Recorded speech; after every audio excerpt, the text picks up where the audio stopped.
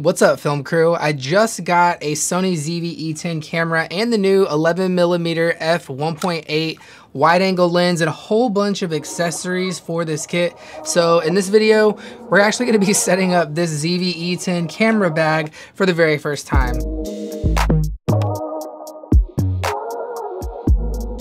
I chose this camera as my third Sony camera body for many reasons. Yes, I do have two other Sony cameras and this is gonna be the baby of the bunch. So naturally, I'm super excited. I mean, just look how cute and small it is. But I say small because the other two cameras I have are a Sony a7R III and a Sony Cinemaline FX3, which are much chunkier than this little camera, which can fit right in your pocket. So we're gonna unbox all this stuff here and everything should hopefully fit in this tiny little bag. But first let's go over what else comes in the box. The microphone's built into the top here, so it comes with this little wind fur that goes over the top there just to block some of that wind noise out. Sony FW50 battery,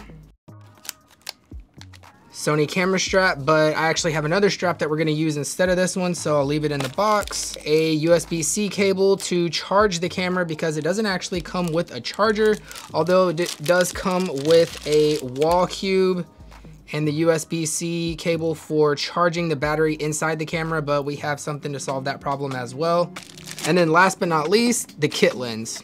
I think the ZV-E10 is crazy good, especially for the price point that it's at. I've advocated over this camera over the last two weeks so much on set that my friend Danielle actually bought one of her own immediately after using mine. This is Danielle. Follow me at by Danielle Francis on Instagram and on YouTube. So I've been using this camera all day behind the scenes and so far I really like it. It's super lightweight, the lens is interchangeable, the settings are pretty easy to kind of go through and I mean it's very affordable. Um, Ray has black and I ordered the white and she'll be getting here today. I'm not kidding, it actually performs way better than I imagined. It has features that my A7R III doesn't even have like eye autofocus for video, red tally lights, it also has unlimited recording time and a flippy screen which is great for vlogging and filming yourself or getting some crazy angles and those are all features that my FX3 has. So the ZV-E10 is actually taking the place of my A7R III as my B camera more than I actually anticipated. So let's go ahead and go over everything and get this thing rigged out. So a couple things to get out of the way right off the bat. Screen protector is an absolute no-brainer. I get the tempered glass screen protectors because this is a touch screen and you're gonna be able to tap to focus and stuff like that. So this is an absolute must-have. You've gotta get a screen protector put on here to protect this glass from getting scratched up or damaged. Also, you need a memory card. I use the ProGrade memory cards. You don't have to get one this fast. This is just one that I have for my FX3, but it works in here perfectly fine. You can get a cheaper card though because you don't need the fastest speed for this camera necessarily. It does shoot 4K, but you don't need the fastest cards on this. So you can get this tiny little pocket size 4K camera for $699. I got the kit that comes with the zoom lens for $799, which I highly recommend getting it with the kit lens. So this is a 16 to 50 millimeter zoom lens that you can get for $100 if you buy it with the camera, or you can get it for $350 if you buy it separately. So it definitely makes more sense to buy it with the camera. So it is a variable aperture lens, which means it does lose a little bit of light as you zoom in. But uh, speaking of zoom, it does have this power zoom feature. So you're able to zoom in and zoom out just by using this little lever right on there. Or alternatively, there's a little zoom rocker that you can go telephoto or wide here just at your fingertips, which is oddly very, very similar to my $4,000 Sony FX3. But anyways, I digress. All right, next up we have the new 11 millimeter APS-C lens. So one of my favorite features about this camera is actually the animal eye autofocus. Continuous autofocus for your pet or animals or whatever you're doing, whether you're shooting wildlife or you're shooting your own pet. So check this out.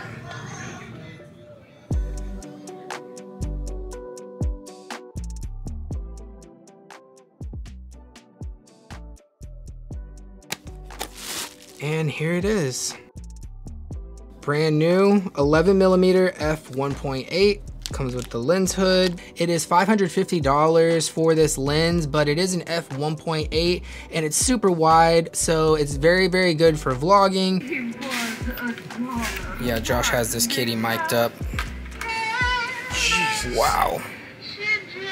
Yeah, that's loud. This is what it's like shooting Halloween stuff summer. Also, it's a prime lens, so being 1.8, you're able to let in a lot of light and get a really blurry background. You can also zoom in and zoom out on the ZV-E10 using clear image zoom, but you do lose some autofocus performance whenever you crop in using clear image zoom. So I don't recommend, you know, zooming in on this lens too much if you don't need to because it's not really a zoom lens. It's not made for that. You're digitally cropping in, but the camera is able to do it because you have this nice 4K 24 megapixel sensor. But if you're a vlogger, this 11 millimeter lens is amazing. It doesn't have any OSS in it, which is your stabilizer, but the camera has built-in active steady shot, which does crop in a little bit like 1.5x, but it leaves plenty of room around your frame. So whenever you're on the kit lens at 16 millimeter, it looks like this. It is wide enough to vlog on, but you can smooth out your shots a little with active steady shot. It's a little bit too tight for me. Also, the 11mm f1.8 aperture will give you a super blurry background and it's great for low light shooting. Whereas in the kit lens, it gets a little bit darker the more you zoom in. So the kit lens goes from an f3.5 to f5.6 whenever you zoom all the way in. So it's not as good at low light or vlogging in my opinion. I also added on this cheap $30 variable ND filter. I got the 58 millimeter size, even though this lens thread is actually a 55 millimeter thread because it's so wide angle that I wanted to get just a little bit bigger filter just in case there was any kind of vignetting. So in order to be able to adapt to a slightly larger filter, you use what's called this step up ring. So I got one of these from 55 millimeter thread that adapts 58 millimeter filters so I'm able to use this 58 millimeter filter on this lens.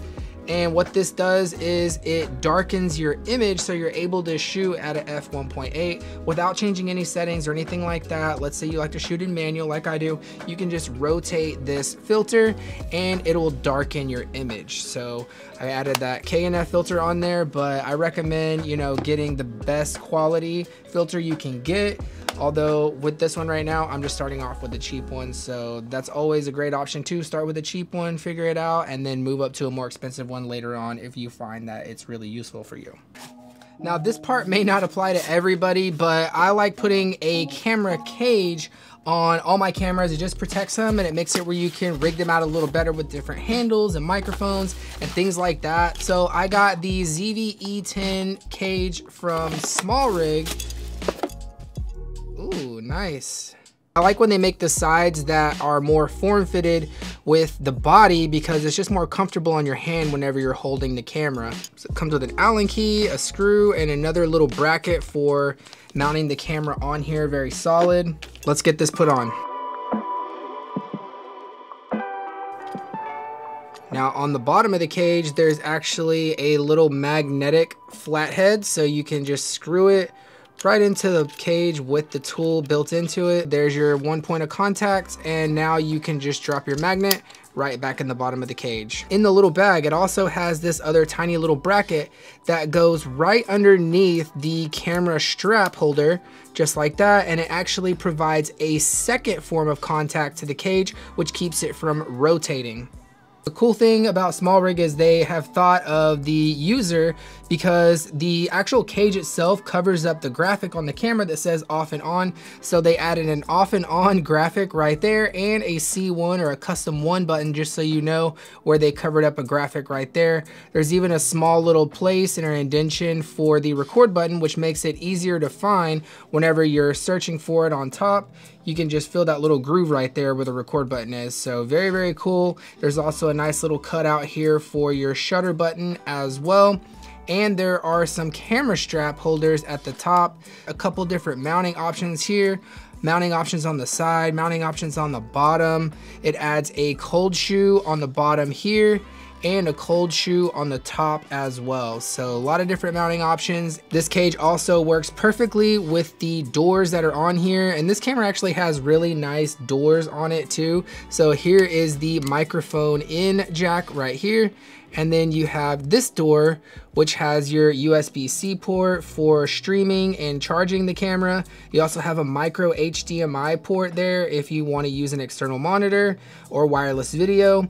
And you have a headphone out jack, which most cameras that are in this price point seem to not have a headphone jack, which is crazy to me. So you have that right there and everything is perfectly accessible in the cage. Next, we're gonna go over some of these Peak Design products that I picked up. So on all my cameras, I have these little red anchors on there. The camera cage has a place here that you can slip your anchors or your camera strap through. So you can use the one that it came with, or I like looping these through because I'll show you in just one second.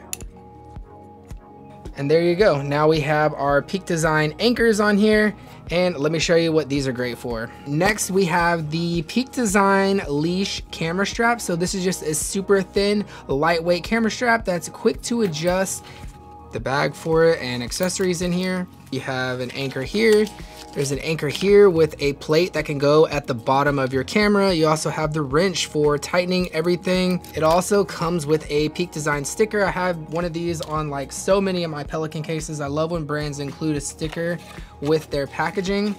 And here's how quick these straps work. You just drop your anchor in and slide it down and you're locked in just like that. To take it back off, you just simply push down in and pull it out. I'm all about the quick release stuff from Peak Design. I have their tripod as well, which works with this capture clip here where you're able to quickly pop your camera off and on your backpack strap on your chest or your camera bag. I have one here that I keep on this Sony bag so I'm able to keep the camera just able to quickly access it. And I also keep one on my backpack it comes with a carrying pouch with several more goodies, another Allen key, and some screws. If you want to actually mount this permanently, you can screw it down with these bolts here. So this is how the capture clip works. You just slide this little rubber padded area onto whatever backpack strap or whatever you want it on, close it down, and then screw these down into place. And this is the camera plate that comes with it, which is compatible with Arca Swiss on the Ronin, and it's also compatible with several other kits and tripods and stuff that you might be using already. And then you can just easily drop your camera right into the slot just like that, and it locks into place. So you don't have to worry about your camera falling or anything like that. And whenever you want to take it off, there's a little lever here on the side. You press that down and your camera can come right back out. So this video is not sponsored, but I do like Peak Design products because they're just quick release and really easy to use and really high quality products as well. So this is a Peak Design bag. I have the capture clip on here so you can just drop your camera right on there just like that. And then you're able to simply hit the release and you're back to handheld. Then this can drop right onto their travel tripod, just like that. And let's say you wanna take your straps off, they come off, you know, with just a couple fingers, just like that, popping them out. So I like all that quick release, popping off type of stuff, and it's just more convenient and helps me to get my shots a little bit faster. So I do like Peak Design products. And speaking of tripods, I also added on this extendable Ulanzi vlogger tripod. So let's pop this open Allen key and the tripod itself. So this is just a tiny little lightweight tripod option. So you can extend it just like that if you need to get a little extra reach on your vlog or you need a little bit higher of an elevation for your tripod. And it also has a cold shoe on the side if you wanna put a light or a microphone or something on here. Alternatively, you can release this top part and unscrew it flip it this way and screw it back in. And now you have a tripod that can hold a cold shoe there, you know, so you can put your flash or whatever you want on here as well. Okay, and the next part is something I'm gonna kind of recommend that you do not get, but let me explain why. So I picked up this Vemico battery kit here because I thought it looked cool. It came in this nice little zippered pouch and it comes with a dual charger. I thought the batteries look cool too because they're orange, you know, just something different and orange being on brand with my colors and you know Sony just makes sense you know? So I thought these look really cool. Why don't I try these out? Two batteries and a dual charger with a cable and a case for only $23 like why not? But whenever I put these actually into my camera I couldn't get the batteries out so I had to get two screwdrivers and actually pry the battery out. So I recommend getting some extra batteries for your kit. And the good thing about this is I'm still gonna be able to use this dual charger on here, which is powered through USB-C, has a little screen on it. So that part's all fine and dandy and I'm gonna keep the case, but these batteries, I just simply cannot use because they are too big for the ZV-E10s. So I don't know if that's just the ones that I got or, you know, that's something to look out for in the future. But I just wanted to warn you about these particular ones and any third party batteries may have a hard time you know, working with your camera. So what did I do? I bought an additional charger. This charger is made by Sony because this camera doesn't come with a charger. You have to charge the battery inside the camera by plugging it into USB-C. So I got an official Sony battery and an official Sony charger on the side just so I have an extra battery. So I recommend getting the official Sony batteries instead of getting third-party ones, but this just may be my particular case.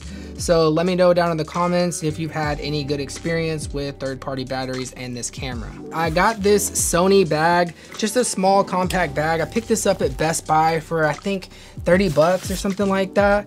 So very, very inexpensive bag. It's an official Sony bag. It has a little slot here for an extra SD card if you want to put a card in there and three different zippered pouches. So it also comes with these removable Velcro walls. So you're able to you know, position anything in here how you need necessary for your kit. So the ZV-E10 sits in there just like that, nice and flat, no problems there. And then you can also drop your additional lens, your microphone top. We can throw the additional battery and battery charger on the side over here. We can throw our ND filter on this other side. The wall charger and cable that came with the camera. Then we can put our Peak Design strap back in its little pouch and drop this in here. And we still have extra room if we need. So the only thing we don't really have room for is this little mini tripod. So what I do is zip the bag up like this and then clamp it in here in the front just like that. So it kind of holds the tripod in here in the bag just like that. Put the capture clip back on this bag and we're good to go. So everything all fits inside here nicely and we're nice and compact and we have this full kit in here. So I'm super excited to have this ZV-E10. I've been shooting on it a ton lately. I've been passing around this camera on my film shoots and having people use it as a BTS camera as well. So a lot of footage coming your way plus reviews for this new 11 millimeter and review for the ZV-E10 as well. So make sure you're subscribed for that. Shoot for the stars and I'll see you guys very soon in the next video.